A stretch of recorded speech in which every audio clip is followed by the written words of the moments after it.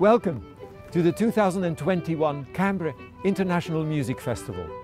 For this festival, we're taking you to Vienna, recently crowned as the most livable city in the world.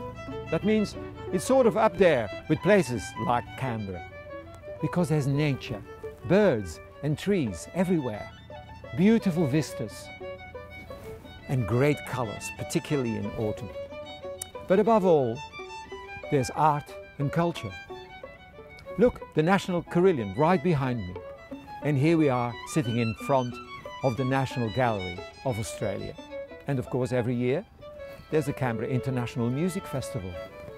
10 days of great music making, live performances again by all Australian artists. From April 30 to May the 9th, Canberra will be the place to visit. For the 2021 festival, we have assembled artists from all corners of Australia. Songmen from Arnhem Land, as much as artists from inner Sydney or inner Melbourne or inner Canberra, of course. And yes, I am referring to those young new songmen, the Wilfred brothers, and the Tiwi strong women from Tiwi Island,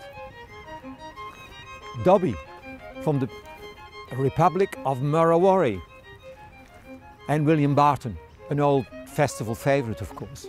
Brenda Gifford, Chris Sainsbury, Nardi Simpson are all writing new work for the festival. Indeed, we are featuring Indigenous artists at every single day of this year's festival. And then we have period specialists like Neal Peres da Costa on fortepiano, Nicole van Bruggen on classical clarinet, and the Australian Romantic and Classical Orchestra. Probably the most prominent period specialists in Australia coming for the first time to the festival. And then we have all our great jazz legends. Sandy Evans, who is reassembling her band specifically for her Gandhi tribute, Ahimsa. And the Australian Art Orchestra, they haven't been seen or heard in Canberra for so many years. And I could go on, of course. We have young artists, many, many young artists, like the young Partridge String Quartet making its debut at the festival. And then the Golden Gate Brass Quintet, another amazing addition, I think, to Australia's musical scene. And musicians are heroes, really, like Ensemble Offspring, the great mavericks of contemporary music in Australia, and Christian Winter, and Anna da Silva Chen, Sonya Lifschitz, Veronique Serret, and I could go on. Great artists who have made their mark here in Australia, and all those artists who now call Australia home. The idea of Vienna. For most of us, Vienna stands for the central axis in classical music. It's the place where Schubert was born. It's the place where Johann Strauss was born and made his career with waltzes. It's the place where Haydn, Mozart and Beethoven made their career, where they changed musical history. It is also the place of change, the place where around 1900 the visual arts changed, design, philosophy, science, psychology was invented. It's where Sigmund Freud worked.